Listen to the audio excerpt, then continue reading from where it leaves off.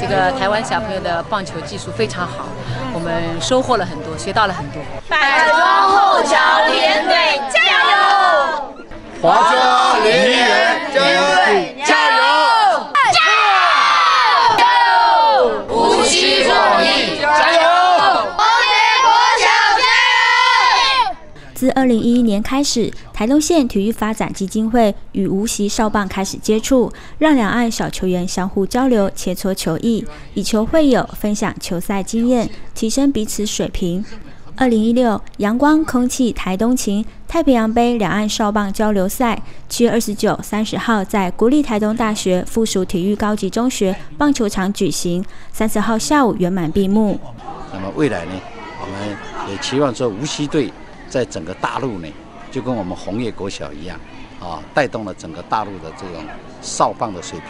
那么我们台东的这一个呃棒球队呢，也能够带动我们整个台湾的棒球的水平。两岸的棒球水平提升了，我想我们华人的棒球呢，就可以呃在世界的棒坛上发光发热。这次无锡联合五所小学组成三支球队来台，不为台东的酷暑一同奋力挥洒汗水。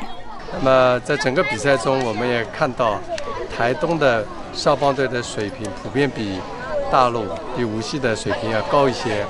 那我们的孩子们在同场竞技的过程中，也努力在拼搏，在发挥团队的作用，在学习，在进步。那么。比赛的结结果胜负啊，我想孩子们固然也觉得重要，但是更重要的是利用这样的场合和机会，能够对小朋友在对棒球的理解、棒球运动的了解和这个感情的投入方面。有了更深的体会和认识。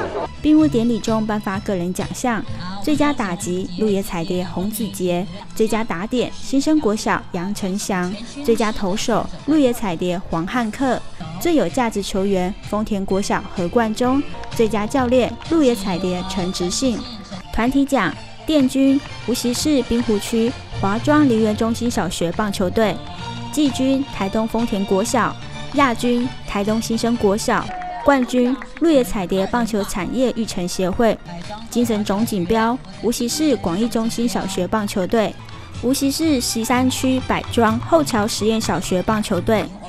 原本落空无人领取的全垒打奖，主办单位特别让各队伍派出一名球员上场，击出最远的那一方可获得该奖项以及鼓励奖金。